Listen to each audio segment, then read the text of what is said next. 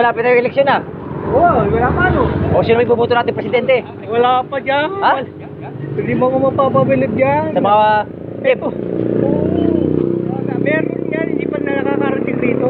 pero kung si Manny Pacquiao ang iboboto mo, Ay, hindi ko rin. okay lang. Ibig mo sabihin, ayaw mo kay Manny Pacquiao. Bakit Bakit hindi ako nagboboto? Pero kung boboto, hindi mo buboto si Manny Pacquiao? Hindi, barkada din natin yan. Kaya Ah. ang bulok nun. Ah, Parang pero- ganyan, eh, tricycle driver din eh. Tricycle driver, di ba dati si Pacquiao? Dati, doon sa Bonifacio. Ay. Tatlo yung magkakapatid yun. Tatlo? Ay, Tatlo? yung isa, ama, pagka nagkano, magkakahawig ang puta. Kaya Pero lang, ma- malalata mo yung totoo. Kung sino Ah. yung gumagano ng paa pag nagbobokseg, ginagalay yung paa. Pero ano, ibig ko sabihin, kung papipiliin ka kung sino presidente, sino ang iboboto mo? Halimbawa, marami yan eh. Si Esco, si BBM, si Manny Pacquiao, si Lenny at saka si Ping Lacson, sino ang iboboto mo sa limang presidente? Oh, wala dyan. Andiyan, hindi, pinapa, hindi pinapasok ang paskil nun eh. Ah. Para yung 666 dati, gano'n na naman. Ah. 666 nanalo yun eh. Hindi, kung Sobra- sakali, sobra. kung, kung ikaw papipiliin kay kay Manny Pacquiao at saka kay Isko, sino ang iboboto mo sa dalawa? Wala, bubuti. Wala kang iboboto sa kanila. Kilala ko lahat yan. Parang eh, si yung Bongbong Marcos sa bago, kilala ko lahat yan. Oo. Eh, pa mga kapi, mga kasamang bahay ko lahat ng mga limang na yan eh. Ayun. Yung isang Bongbong Marcos, mausay maggawa ng tinapay at limang na yun. Yung driver na.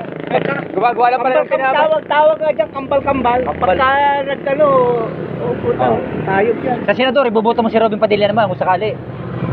Si Robin Padilla, kilala Ano, hindi ko bubutin-putin sana. Tika doon niya sa babo Pangulo rin. Si Robin Padilla? Ay puta, yun yung nagmamaneho ng jeep ng... Kaya nga sabi ko, daya mga puta niya eh. Pag pag nagmi-meeting, Oh. hanapin mo si... Isko, wala siya, Oh, di ba? oh. Pagka, ano, tingnan mo, nakaganon, Isko siya. Oo. Puta, paalis mo yung ganon. Kaya nga nung ano, sinulapit ako eh. Tagalan mo nga yung ganon ako. Eh, di, tinanggal na, hindi si Isko.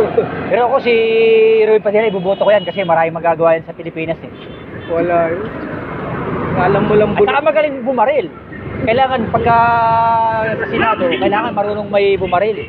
Pagka, Magaling manuntok pa yun. ang pagganap mo ng politiko, yung yung kahit na maliit lang siya, eh, boy, eh, siya kahit na wala siyang katulad ng natin, yung mayroon siyang prinsipyo ilalaban niya tayo kahit gumagapang siya. Ayo. Yun, yung, kasi yun, boss natin siya, pupunta siya doon, hindi yung pag Oo. hala lang 500 a day pa siya, uupo-upo, Ah. hindi niya alam kung sino susundin niya. Ah. Hindi siya makaupo eh, pero yung laban, di ba, meron laban. Pero sa palagay mo, mananalo kaya si Leni Robredo kung sakali? Eh, sila-sila dyan. Eh, ang mo sa laban nila, sila-sila na lang yan. Pero sa taong professional, hindi na papansin mo. Kasi bali-balita, magugulo daw ang Pilipinas pag natalo si Leni Robredo eh. Tuloy ng Pilipinas, boy. Mayroong isa dito matatag. Hindi nila kakayanin yun. Nagtatago lang lang yun eh. Eh, pag, pag yung isang yun, umakbang, Oh. lahat ng military, kanya, eto, di naman pulis-pulis batuta lang to, dito na to eh. Oh. Eh, yung yung sa krami, Oh. eh, hindi man lumalabas yung sa krami.